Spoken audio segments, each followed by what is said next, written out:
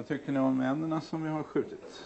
De ser fina ut. Eh, Det är mest unga änder va? och eh, om man känner så här på undernäbben är den lätt att bryta av så är det unga anke. Och, och detta som ligger här det blir då kvällens middag.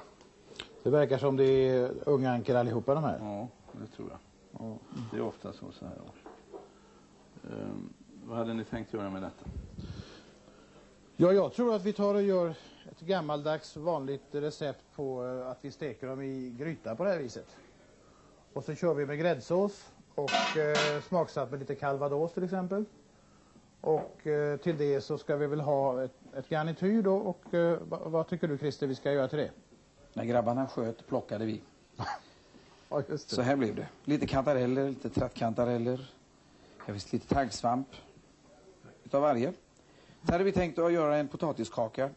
Purjolök har vi här. Tänker vi använda i. Och lite utav svampen tar vi i potatiskakan också. Det luktar Så att- fantastiskt ja, det är helt Direkt från skogen.